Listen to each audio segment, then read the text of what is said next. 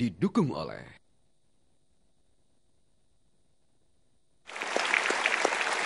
Baik, saya lanjutkan lagi Mario Teguh Golden Way, saya Hilbram Dunar dan kita berbicara mengenai natkul.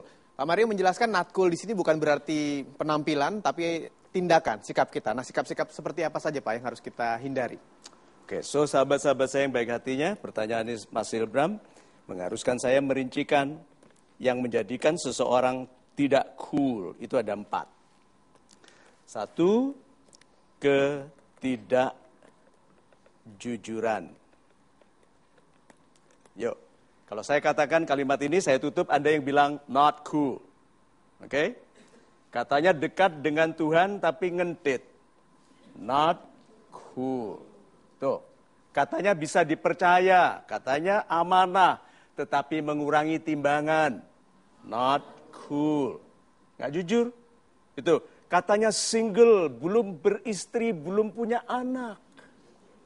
Ternyata setelah menikah ketahuan istrinya di setiap tikungan ada. Apa? Not cool. Si orang tidak jujur itu not cool. Bukan yang pakaiannya jelek, bukan. Banyak orang merasa cool itu kalau pakai vest, nggak ada lengannya, lalu ada tatonya jagal pasar.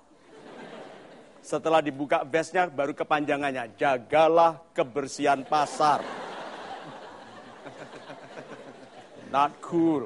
Oke? Okay? Not cool yang kedua. Ketidaktegasan. Nih, ayah kok nggak tegas. Membiarkan anaknya sampai bermasalah. Tahu nggak? Tuhan menunjukkan ketidakpantasan seseorang menjadi pemimpin melalui buruknya perilaku anak-anaknya. Karena landasan kualitas landasan dari kepemimpinan adalah pendidikan. Kalau anaknya saja bermasalah, bagaimana dia bisa memimpin yang mendidik? Jadi pemimpin yang tidak jujur apa?